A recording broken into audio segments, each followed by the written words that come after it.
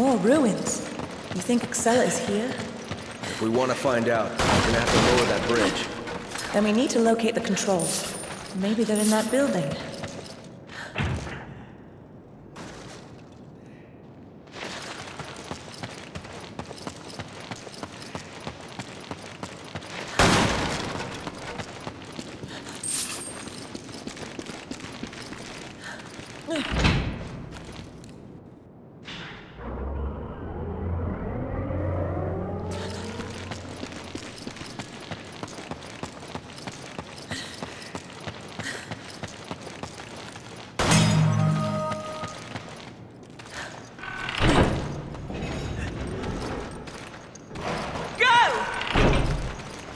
Okay.